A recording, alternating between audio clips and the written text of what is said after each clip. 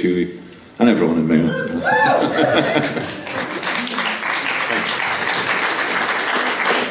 I compose. I compose a lot of music. I'm actually starting to compose. Uh, if anyone has a birthday coming up or anything like that, it makes a great Christmas or birthday present or a Christmas present or whatever you like. So uh, you'll find me on Facebook. Uh, I'm serious. yeah.